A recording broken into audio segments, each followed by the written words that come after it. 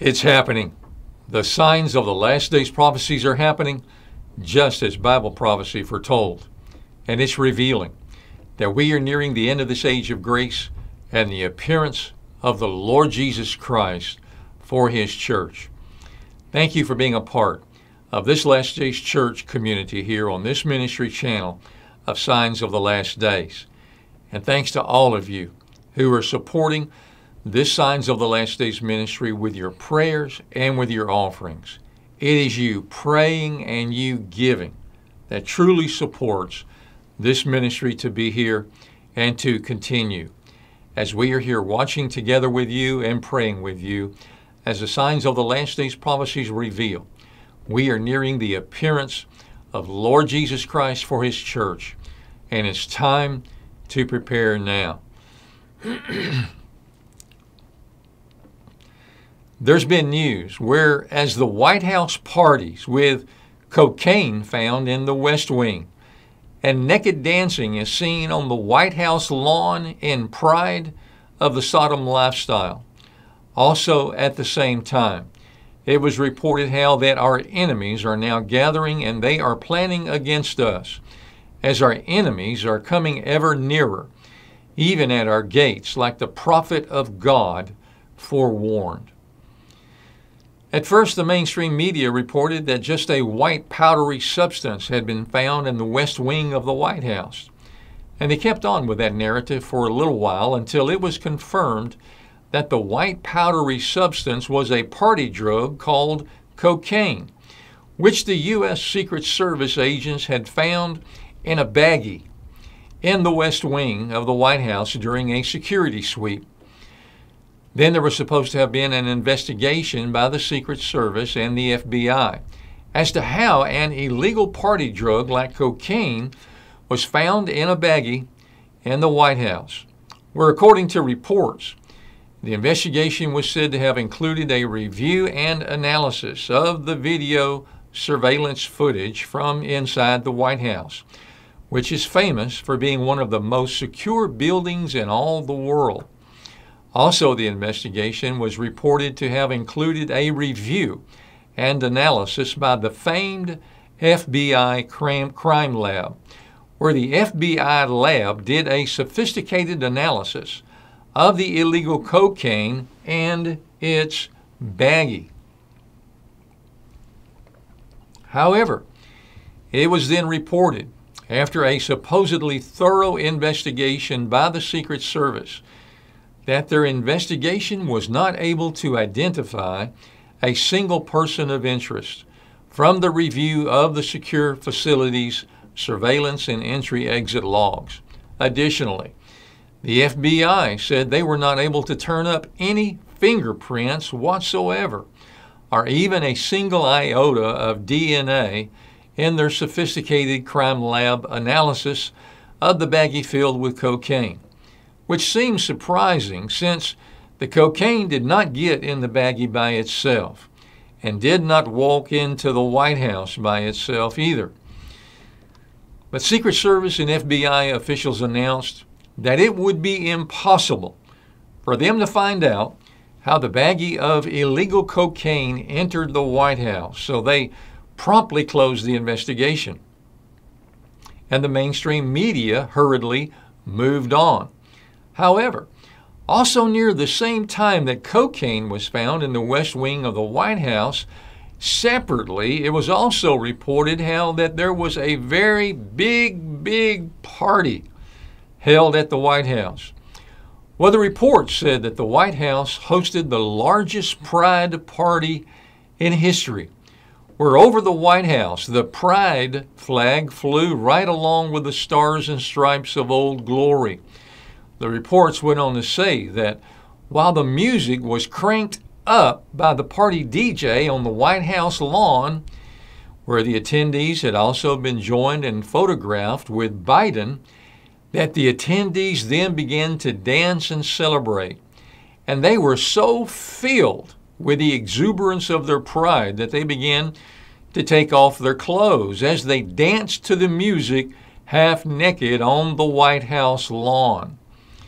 The attendees had enjoyed the party with Biden at the White House so much that during the party, they posted their photos and their videos on their social media of the event for their fellow friends of pride. But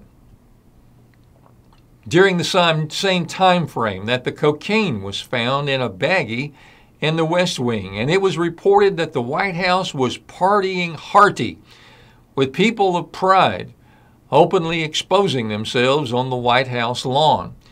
During that same time frame, it was also reported that our enemies were also gathering together inside our security comfort ring and planning to place military bases to where the security of the country is exposed to our enemies who would even be at our gates.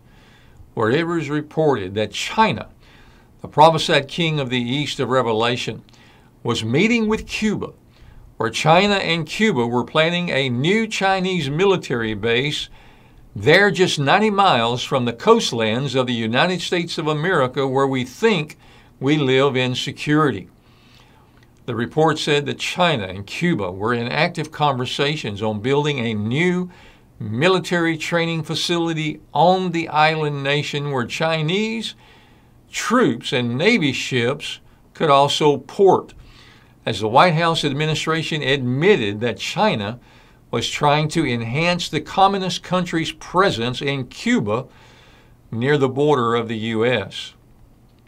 As there are already severe tensions between Washington and Beijing as there is heightened anxiety over China's growing ambitions from the South China Sea all the way, it seems, to the Gulf of Mexico over a host of issues, including war over Taiwan. The U.S. administration admitted that China and Cuba are already jointly running eavesdropping stations together on the island of Cuba. When its existence was first reported, the Pentagon denied it, where a spokesperson for the Pentagon said, We are not aware of China and Cuba developing any type of spy station bases.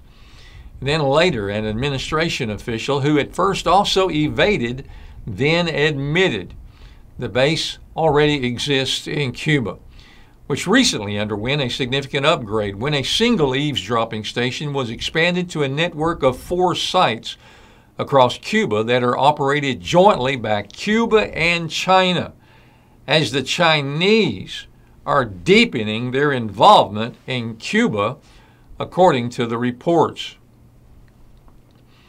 U.S. military officials have now said that a new military facility in Cuba could provide China with a platform to house military troops permanently on the island and to broaden their intelligence gathering against the U.S.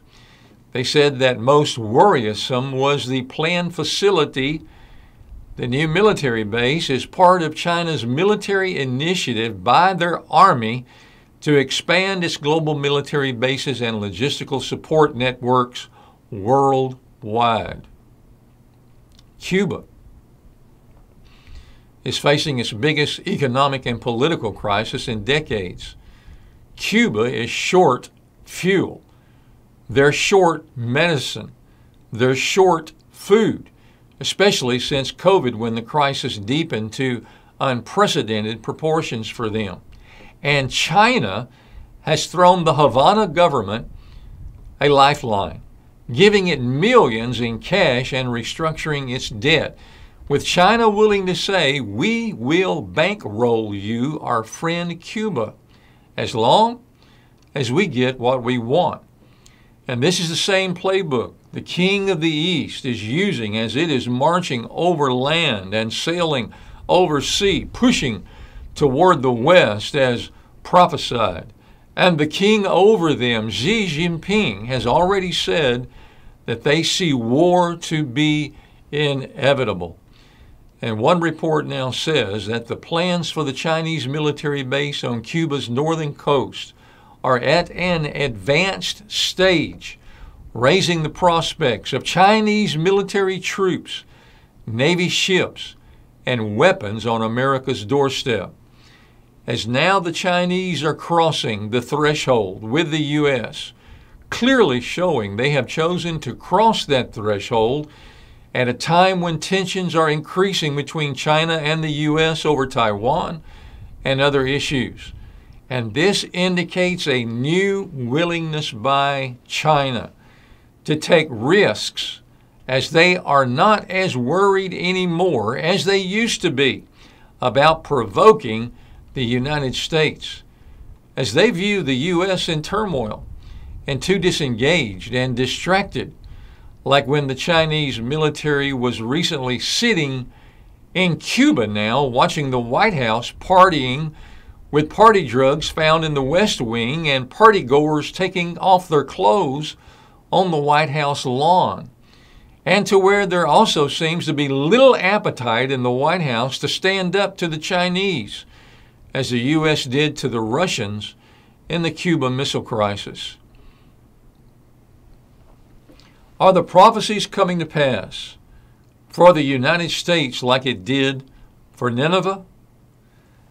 Has America become a modern day Nineveh where its days are numbered and its modern Christianity is like a Jonah that is a no show? Because it will not embrace and obey the actual commandments of the Lord, even though America, like Nineveh, is going down the highway to hell. The only hope for America and its failing Christianity is repentance like that of Jonah where the Lord helped him to get the courage to finally embrace and speak all the truth of the Lord's message. If America and its Christianity, unfaithful to the actual preaching of Jesus Christ and his apostles in their scriptures, do not have their Jonah moment and the resulting deep repentance, then the prophet Nahum provides the prophetic destiny of America which will be like those before her as Nineveh and Rome. Where the prophet Nahum shows in chapter 3 that because of their immoral practices, while those who were to lead and protect the land were superficial and pretentious, that the land became naked with shame.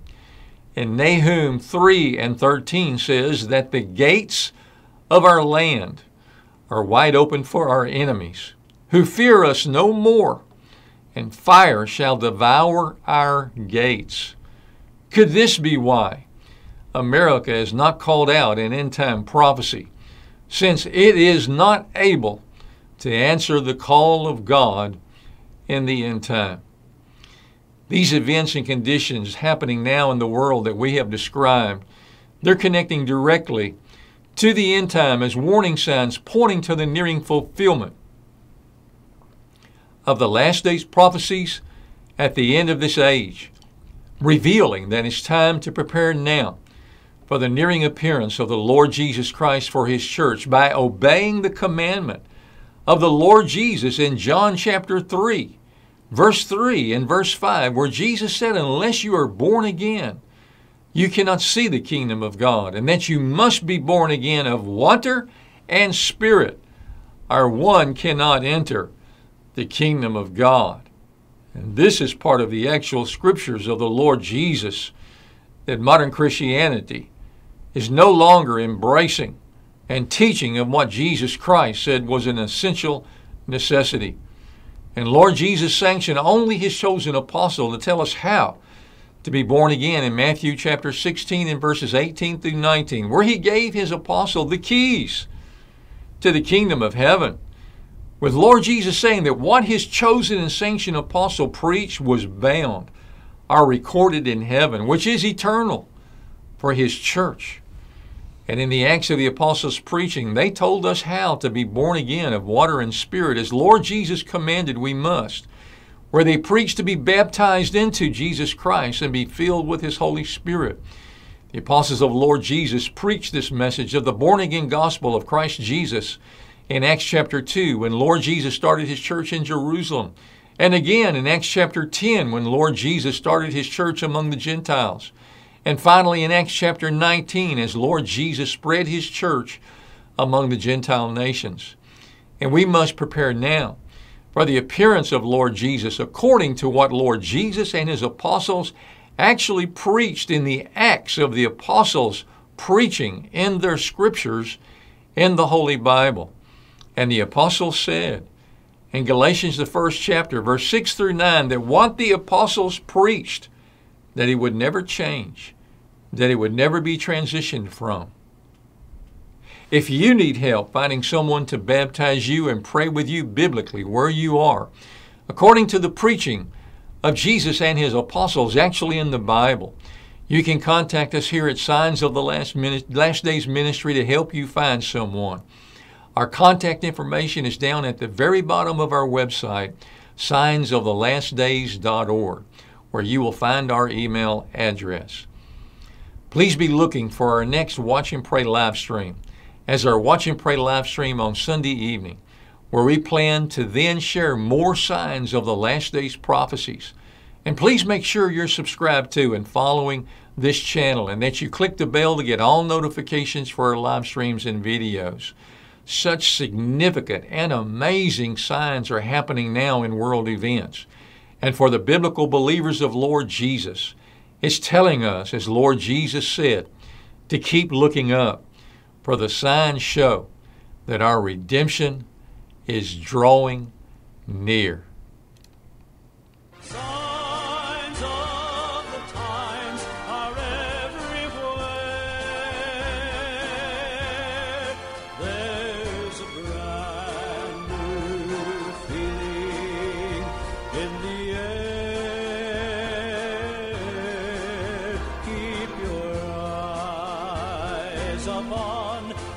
These